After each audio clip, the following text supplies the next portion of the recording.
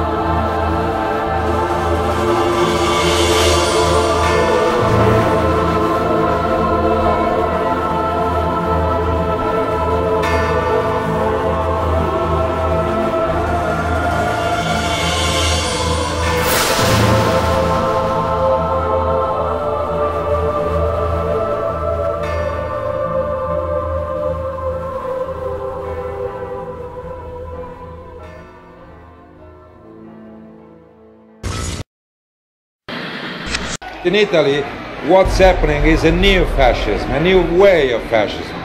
The media revision of Italian history has already begun. You have seen in the previous three videos that modern atheism was a form of propaganda invented by the Jesuit counter-reformation in Europe, which included humanists such as Francesco Petrarch, who was also considered by most historians to have been the father of the Renaissance, and who coined the phrase, the Dark Ages, to describe Europe under the control of the papacy, which he also openly identified as the Antichrist.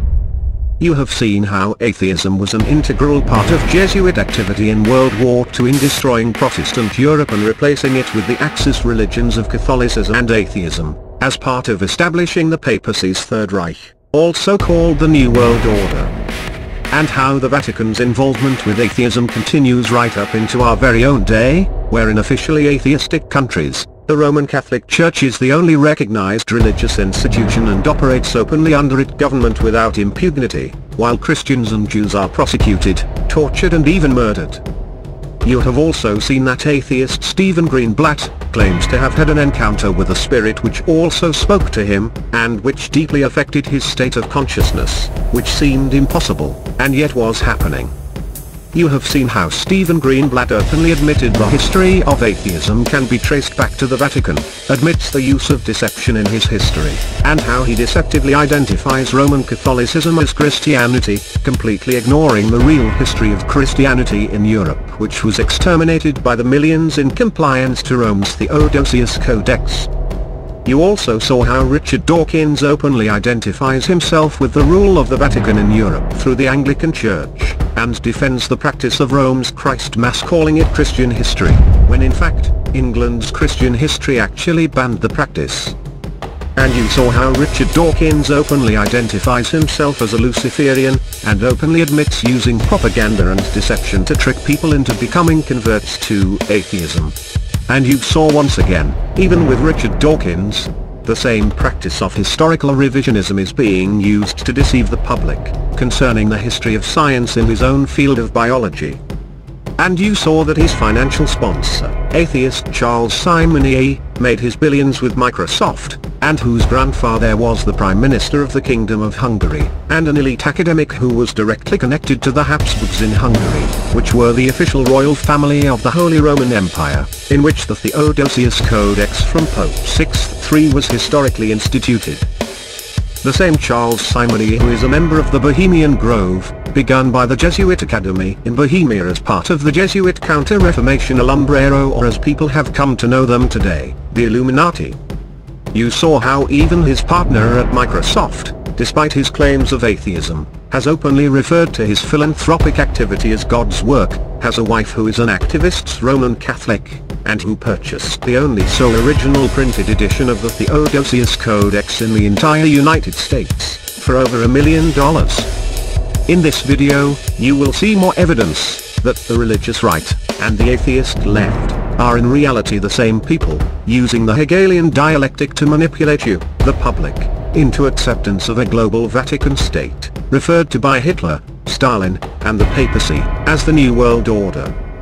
And you will also see quite contrary to what you have been told, the existence of God has been proven in science many many years ago.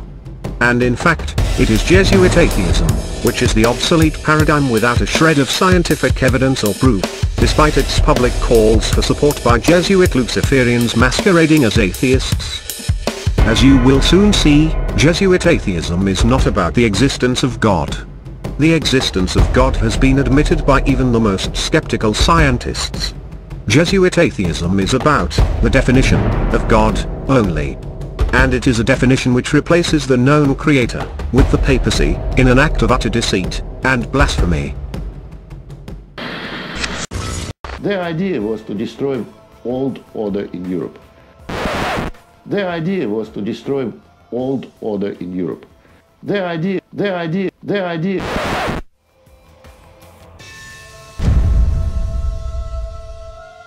To destroy old order in Europe.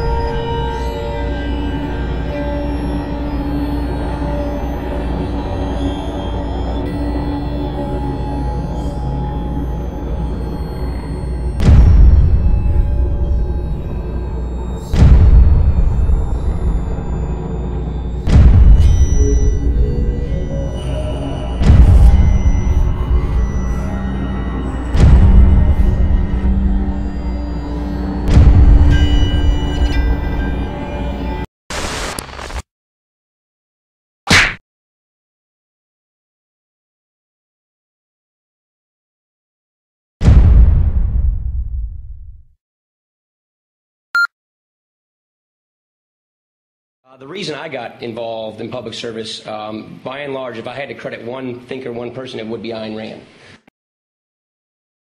I am the creator of a new code of morality and morality, not based on faith. I think Ayn Rand did the best job of anybody to build a moral case for capitalism. You are out to destroy almost every edifice in the contemporary American way of life, our Judeo-Christian religion, our modified government-regulated capitalism, our rule by the majority will. Other reviews have said that you scorn concept of God. Are these accurate criticisms? Uh, yes.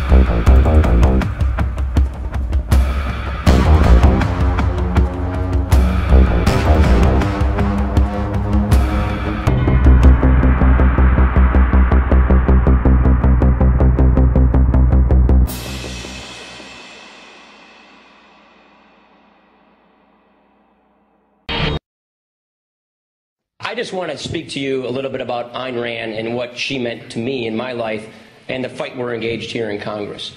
Uh, I grew up on Ayn Rand. That's what I tell people. I, uh, you know, everybody does their soul searching and, and trying to find out who they are and what they believe, and you learn about yourself. You are out to destroy almost every edifice in the contemporary American way of life, our Judeo-Christian religion, our modified government-regulated capitalism, our rule by the majority will. Are these accurate criticisms? Uh, yes.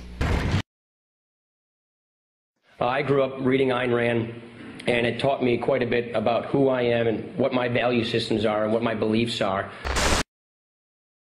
You are out to destroy almost every edifice in the contemporary American way of life, our Judeo-Christian religion.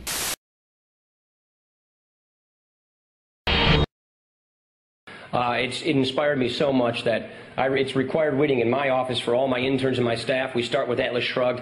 Uh, people tell me I need to start with the Fountainhead, then go to Atlas Shrugged. There's a big debate about that. I am against God. I don't approve of religion. It is a sign of a psychological weakness. I regard it as evil.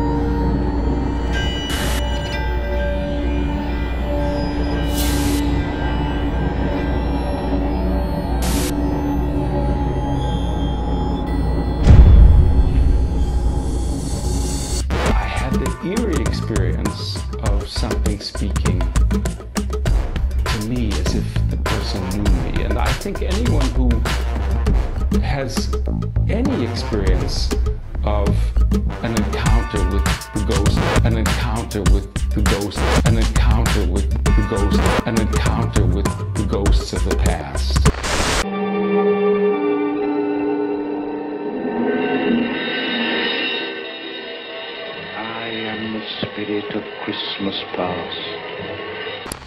knows what I'm talking about, where it, it seems impossible, and yet it's happening, and yet it's happening, and yet it's happening. Um, I'm a cultural Christian, the same way as many of my friends call themselves cultural Jews or cult- cultural Muslims. Um, so yes, I love singing carols along with everybody, everybody else. I'm not one of those who wants to purge our society of our Christian history.